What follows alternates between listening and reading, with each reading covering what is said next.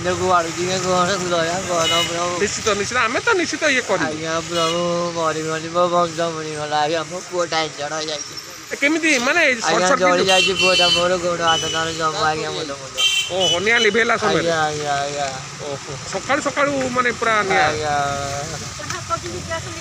ଓ gas leakage ଆଜ୍ଞା ଆଜ୍ଞା ଜାଣିପାରିଲିନି ବୁଢ଼ା ଲୋକ ଆଜ୍ଞା ଓହୋ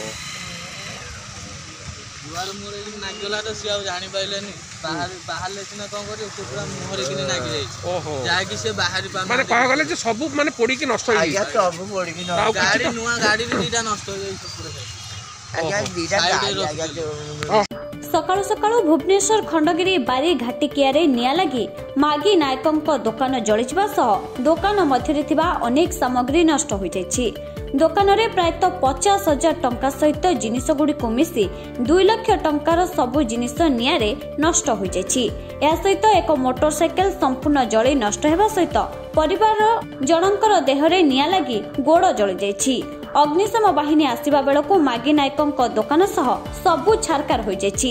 ତାଙ୍କୁ କିପରି ସରକାରୀ ସାହାଯ୍ୟ ମିଳିବ ସେଥି ନିମନ୍ତେ ସେ ଆମ ପ୍ରତିନିଧିଙ୍କୁ ଅନୁରୋଧ କରିଥିଲେ।